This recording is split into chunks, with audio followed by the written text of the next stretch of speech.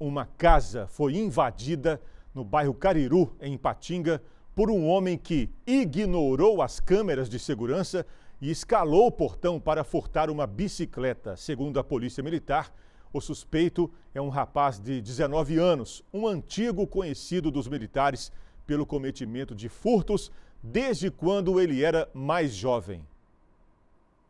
Imagens do circuito interno mostram o momento em que o autor invade uma residência no bairro Cariru, em Patinga.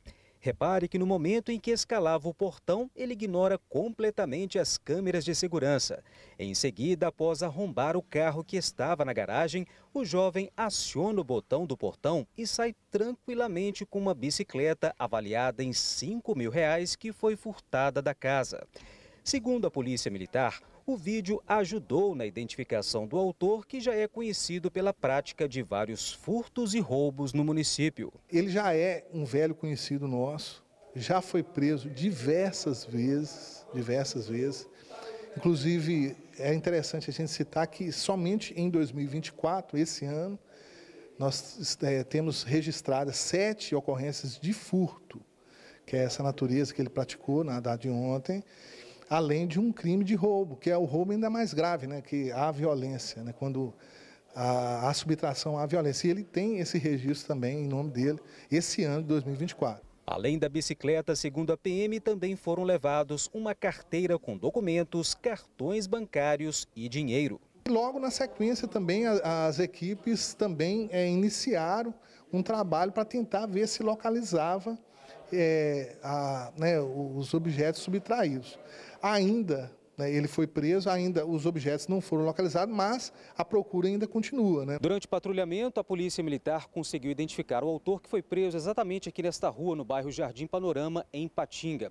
Somente neste ano, segundo a PM, foram sete furtos e um roubo praticados pelo jovem. Quando ele foi preso, ele foi preso ali na, naquela imediação ali, né, que foi ali na, na região dos motéis, ali do, do, do panorama que fica próximo a esse bar ali na Macapá. Segundo a PM, o autor tem 19 anos. Ele praticava furtos e roubos em Patinga desde quando era menor de idade. Após o crime, o jovem sempre se escondia em locais de difícil acesso, o que dificultava a prisão dele. Ele é uma pessoa é, que, toda vez que ele comete um crime, ele, ele se esconde e ele procura locais de difíceis, é, de, para dificultar mesmo né, ser encontrado.